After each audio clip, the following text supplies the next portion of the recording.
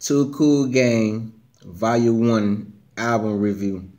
I met these guys last year, Classic Weekend, at the Red Sea store. They were hanging they poster all around the store, then spent a few dollars in the store. Once they left, I went on YouTube to listen to a few of their songs. Then they came back to the same store. I told them I liked their music. Hype Cool wanted to put me on Snapchat, but I declined.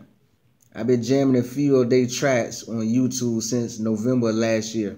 That also include the new tracks they've been putting out since last year. The album is called 2 Cool Gang Volume 1. I love what they rap about because it's not the same, the usual hood nonsense that everyone rap about.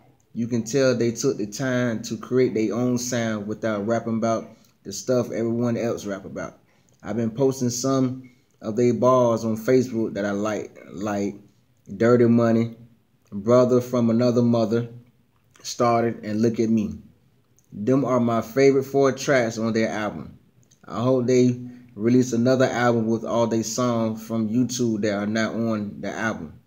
My own advice for them boys, if you want to be more than hood rich, get out of Florida. Florida have no labels. Head straight to Atlanta. That is where the music game is at, and that is where the whole game is getting ran right now.